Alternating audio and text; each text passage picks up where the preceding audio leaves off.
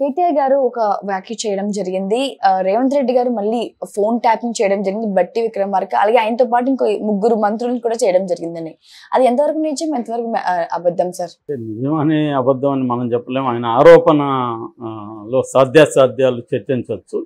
అయితే నిన్న ఆయన ఒక సుదీర్ఘమైన ఇంటర్వ్యూ టీవీ నైన్కి ఇచ్చారు. అక్కడ అనేక విషయాలు మాట్లాడారు. ఫస్ట్ ఆఫ్ ఆల్ ఆయన మాట్లాడింది ఏంటంటే నేను ఫోన్ ట్యాపింగ్కి ఎటువంటి ఆదేశాలు నేను ఎవరికి ఇవ్వలేదు. నేను ఏ హీరోయిన్ కానీ ఎవరిని కానీ ఫోన్ ట్యాపింగ్ చేయలేదు. నేను అన్ని రకాల టెస్ట్లకు రెడీగా ఉన్నాను. నార్కో టెస్ట్కి కూడా రెడీగా ఉన్నాను. నన్ను చేయించుకోవచ్చు. కాబట్టి నేను నాకు సంబంధం లేదు అనేది చెప్పారు. నిజానికి ఇది ఎప్పుడో చెప్పుండాలి ఆయన. మొన్న కూడా అన్నారు కానీ బిగినింగ్లోనే చెప్పాలి ఇట్లాంటివి. ఇప్పటికి ఆల్రెడీ టూ లేటు. ఎందుకంటే ఇవన్నీ కథనాలు వచ్చేసాయి. ఈయన హీరోయిన్లతో అఫైర్లు సమంత విడిపోవడానికి ఈయన కారణం. ఇలాగంతా వచ్చేసాయి యాక్చువల్గా. బిగినింగ్లోనే ఫోన్ ట్యాపింగ్ ఉన్నప్పుడే గట్టిగా చేయాలి. అంటే ఇక్కడ ఒక ప్రాబ్లం కనిపిస్తుంది బీఆర్ఎస్లో గట్టిగా వాళ్ళు తమ మీద జరుగుతున్న దాడుల్ని ఎదుర్కోవడంలో స్ట్రాంగ్గా లేదనిపిస్తుంది. దానికి కారణం ఏంటంటే ఇప్పుడు మనకు ఆంధ్రప్రదేశ్లో తీసుకుంటే రెండు పార్టీల తరపున స్పోక్స్ పర్సన్స్ చాలా స్ట్రాంగ్గా ఉంటారు అక్కడ. గట్టిగా మాట్లాడేవాళ్ళు. ఒకటేదన్నా జరిగితే వచ్చి ఇటు పది మంది ఇటు పది మంది మీద పడిపోతారు. ఇక్కడ అటువంటి వాతావరణం లేదు. ఎంతసేపు ఆ ఫ్యామిలీని ప్రొజెక్ట్ చేసుకుంటూ వచ్చారు కానీ వేరే స్ట్రాంగ్ పొలిటికల్ స్పోక్స్ పర్సన్స్ని వీళ్ళు తీసుకురాలేదు. కేసీఆర్ కూడా ఎంతసేపటికి వీళ్ళనే పెట్టుకొని ఇటు కేటీఆర్ కవిత హరీష్ రావు. హరీష్ రావు కూడా మధ్యలో చాలా కాలం ఆయన్ని పక్కన కోల్డ్ స్టోరేజ్లో పడేశారు హరీష్ రావుని. సో అదేంటంటే ఒక రకమైన నియంతలాగా నడిపాడు కేసీఆర్. సో దా దానివల్ల ఇప్పుడేమైందంటే ఎవరు కూడా గట్టిగా దీన్ని ఎదిరించి మాట్లాడే వాళ్ళు కరువు అయిపోయినారు పైగా రేవంత్ రెడ్డితో మనం పెట్టుకుంటే మనకు కూడా ఇబ్బందులు అవుతాయేమో సాక్షాత్తు కవితకి దిక్కు లేదు. కేసీఆర్ సైలెంట్గా ఉన్నాడు మనకెందుకు అన్నట్టుగా అయిపోయారు అందరూ. సో ఈ ప్రాబ్లము కనిపిస్తుంది. అందుకని ఇప్పుడు ఒంటరిగా కేటీఆర్ మీదే ఎక్కువ బరువు పడింది. ఇదంతా చేయాలని పరిస్థితి. ఒక పక్క సిస్టర్ జైల్లో ఉంది ఆమెను చూసుకోవాలి కోర్టులు లీగల్ ఇష్యూస్ ఉన్నాయి అవన్నీ ఆయన కోఆర్డినేట్ చేసుకోవాలి. మరోవైపు ఏమో ఇక్కడ రేవంత్ రెడ్డికి వ్యతిరేకమైన క్యాంపెయిన్ చేయాలి. సో ఈ ప్రాబ్లమ్స్ కేటీఆర్ ఫేస్ చేస్తున్నాడు. సో ఈ క్రమంలో ఇప్పుడు ఆయన కౌంటర్ అఫెన్సివ్ అంటారు. కౌంటర్ అఫెన్సివ్ అంటే మన మీద ఎవరైనా దాడి చేస్తున్నప్పుడు దాన్ని తిప్పికొట్టడంలో రెండు మెథడ్స్ ఉంటాయి. డిఫెన్సివ్ అండ్ అఫెన్సివ్ డిఫెన్సివ్ అంటే నేను చేయలేదు నాకు సంబంధం లేదని చెప్పుకోవడం. అఫెన్సివ్ అంటే నువ్వు నువ్వేం తక్కువ నువ్వు అది చేయలేదా అది ఇది అని కౌంటర్గా వేయడం. చాలాసార్లు ఏంటంటే best form of defence is offence అని యుద్ధంలో నీతి సూత్రంలో ఒకటి ఉంటుంది అనమాట ఎప్పుడు కానీ మనం చేయలేదు చేయలేదు అంటాడు నువ్వు చేసావు చేసావు అని చెప్తుంటాడు. అందుకని వాడి మీద కూడా కొన్ని వేసావంటే వాడు కూడా నేను చేయలేదని చెప్పుకోవాలని పరిస్థితి వస్తుంది. మామూలుగా రాజకీయాల్లో ఇవే ఎక్కువ జరుగుతుంటాయి. సో ఇది ఎవరు ఎఫెక్టివ్గా చేస్తే వాళ్ళు సక్సెస్ అవుతుంటారు. అట్లా ఇప్పుడు కేటీఆర్ ఏం చేశాడంటే ఒక కొత్త ఆరోపణ చేశాడు.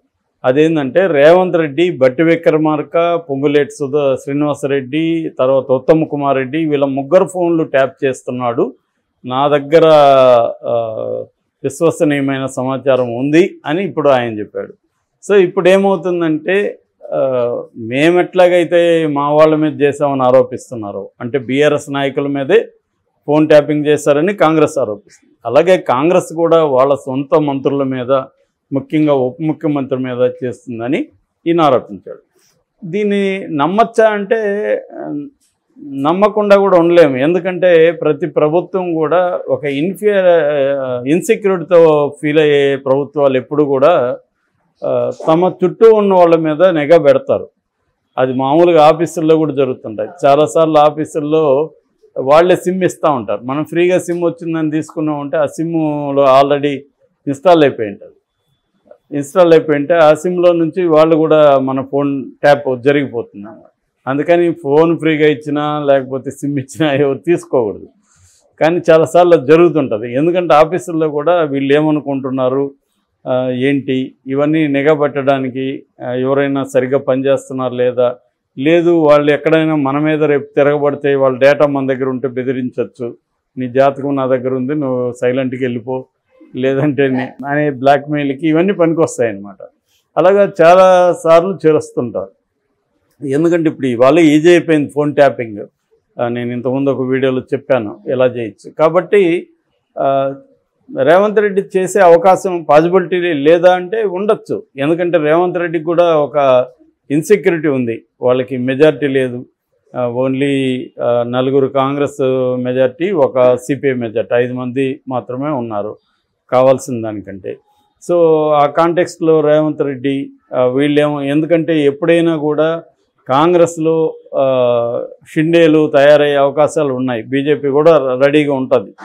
సో అలాగే రేపొద్దున రేవంత్ రెడ్డికి థ్రెట్ ఉండే అవకాశం ఉంది. ఆల్రెడీ రేవంత్ రెడ్డి అంటే పడని వాళ్ళే ఎక్కువ మంది ఉన్నారు. కోమటిరెడ్డి వెంకటరెడ్డి కానీ ఉత్తమ్ కుమార్ రెడ్డి కానీ బట్టి విక్రమ కానీ తర్వాత పొంగులేటి కానీ వీళ్ళందరూ కూడా ముఖ్యమంత్రి రేసులో ఉన్నారు యాక్చువల్గా? అంటే రేవంత్ రెడ్డి కంటే వీళ్ళు సీనియర్. కాంగ్రెస్లో సీనియరు రాజకీయాల పరంగా కూడా సీనియర్స్. అలాంటి వాళ్ళకి ఇతను తెలుగుదేశం నుంచి వచ్చి సడన్గా ఇతను సీఎం అయిపోయాడన్న ఒక జలసి ఉండే అవకాశం ఉంది. అవకాశం లేదు కాబట్టి సైలెంట్గా ఉన్నారు. ఎందుకంటే అధిష్టాన వర్గం రేవంత్ రెడ్డికి అనుకూలంగా ఉందని. రేపొద్దున ఛాన్స్ వస్తే వాళ్ళందరూ కూడా రంగంలోకి దిగుతారు. సో అందుకని రేవంత్ రెడ్డికి ఆ భయము ఖచ్చితంగా వెంటాడుతూ ఉంటుంది. ఇన్సెక్యూరిటీ అయితే ఉంటుంది. ఏ ఏ రకంగా ఇబ్బంది అయినా మనకి ఇబ్బంది అయినా ఎందుకంటే బీఆర్ఎస్ వెయిట్ చేస్తుంది. ఎప్పుడెప్పుడు సమయం దొరుకుతుందని. ఒక పక్క బీజేపీ కూడా తన తనకి మెజారిటీ లేని రాష్ట్రాల్లో కూడా తను గవర్నమెంట్ ఫామ్ చేయగలిగింది ఇలాగే. ఎందుకంటే ఫర్ ఎగ్జాంపుల్ మహారాష్ట్రలో అదే జరిగింది కదా. శివసేనలో నుంచి చీల్చి షిండేను ఏకనాథ్ షిండేను చీల్చింది. అట్లాగే మన ఎన్సిపి నుంచి కూడా అజిత్ పవార్ని చీల్చింది. ఇలాగా వాళ్ళు కాంగ్రెస్ అక్కడ పార్టీని ఏర్పాటు చేయగలిగారు. ప్రభుత్వాన్ని కోయిలేషన్ ప్రభుత్వాన్ని. అలాగే రేపొద్దున ఇక్కడ కూడా కాంగ్రెస్ని చీల్చి బీఆర్ఎస్ బీజేపీ కలిసి గవర్నమెంట్ని ఫామ్ చేస్తే ఎవరేం చేస్తారు? కాబట్టి ఇటువంటి ప్రాబ్లమ్స్ అయితే ఉంటాయి కాబట్టి కాంగ్రెస్లో నిరంతరం ఒక అనుమానాలు అయితే ఉంటాయి ఖచ్చితంగా. ఎందుకంటే రీజనల్ పార్టీలో ఇది తక్కువ ఉంటాయి. రీజనల్ పార్టీలో నాయకుడు అబ్సల్యూట్గా ఉంటారు కాబట్టి వాళ్ళ కమాండ్ కంట్రోల్లో ఉంటారు. కానీ నేషనల్ పార్టీలో ఇది ఎప్పుడైనా తప్పదనమాట ఈ అనుమానాలు ఉంటాయి. ఆ రకంగా చేసే అవకాశం ఉంది. కాకపోతే మనం అర్థం చేసుకోవాల్సిన అంటే కేటీఆర్ వాంటెడ్లీ ఒక కౌంటర్ అఫెన్సివ్ పాచిక విసిరాడు. ఇది తగిలినంత తగులుతుందిలే మన మీదే పడుతున్నారు కదా అని రాయేశాడు. సో ఆయన దగ్గర ఏం ఇన్ఫర్మేషన్ ఉంటుంది? దీన్ని బట్టి ఇంకొకటి కూడా అర్థమవుతుంది మనకు. కేటీఆర్ ప్రభుత్వం కూడా తన దగ్గర ఉన్న వాళ్ళ మీద చేసింది కాబట్టి కేటీఆర్ ఇలా చెప్పగలుగుతున్నారని కూడా కాంగ్రెస్ వాళ్ళు అంటున్నారు. ఆ ఛాన్స్ కూడా ఉందన్నమాట. సో కాబట్టి దీన్ని బేస్ చేసుకొని వీళ్ళ మీద ఫోన్ ట్యాపింగ్ అయిందని మనం చెప్పలేము. అట్లని పాజిబిలిటీ లేదని కూడా చెప్పలేము.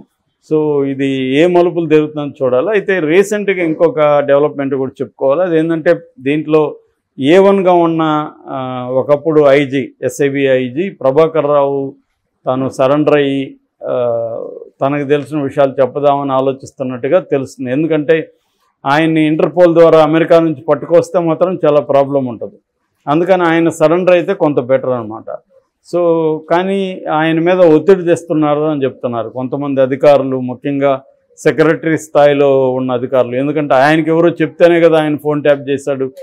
సో వాళ్ళందరూ కూడా ఆయన ప్రెజర్ చేస్తున్నారు. నువ్వు కానీ వస్తే బుక్ అయిపోతాము నువ్వు రావద్దు లీగల్గానే కొట్లాడదాము.